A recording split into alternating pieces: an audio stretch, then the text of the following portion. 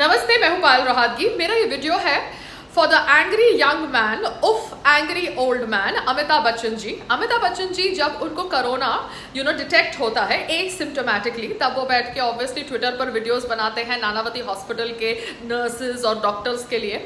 वो अमिताभ बच्चन जी, ईद की बधाइयाँ दे सकते हैं, मगर राम जन्मभूमि, भूमि पूजन की बधाइयाँ नहीं देते। वो सेम अमिताभ बच्चन जी ने हमारे देश के प्रधानमंत्री श्री नरेंद्र मोदी जी के जन्मदिन पर उनको बधाइयाँ नहीं दी। So this is like something Amitabh ji आप तो खुला पंगा ले रहे हैं। That means you don't like Modi ji that means you don't like the prime minister of our country तो फिर आप मुँह उठाकर क्यों पहुँच जाते हैं? जब आपको राष्ट्रपति भवन या यू you नो know, सरकार से कोई न्योता मिलता है या कोई ब्रांड एम्बेसडरशिप का यू नो इन्विटेशन मिलता है क्यों मुँह उठा के चले जाते हैं? क्यों?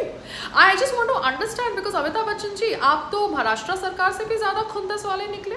उन्होंने खुंदस में आके कंगना का ऑफ़िस तोड़ दिया और आपने खुंदस में आके प्रधानमंत्री जी को उनके जन्मदिन की बधाइयाँ भी नहीं दी।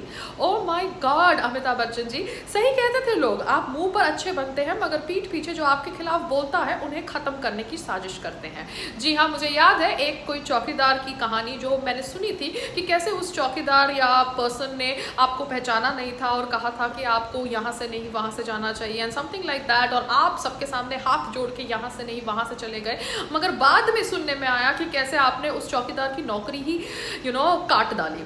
So this is how you operate amazing I am so impressed to know this side of yours and I hope that India also knows this side of yours कि जहाँ Amitabh Bachchan the superstar of Indian cinema ने हमारे देश के प्रधानमंत्री श्री नरेंद्र मोदी जी को उनको, उनके जन्मदिन की बधाइयाँ नहीं दी। क्यों? क्योंकि वो मोदी जी से गुस्से हैं। And he is obviously taking his revenge by not acknowledging the prime minister of our country नमस्ते। I think Jaya Bachchan serves you right she is an apt wife for you.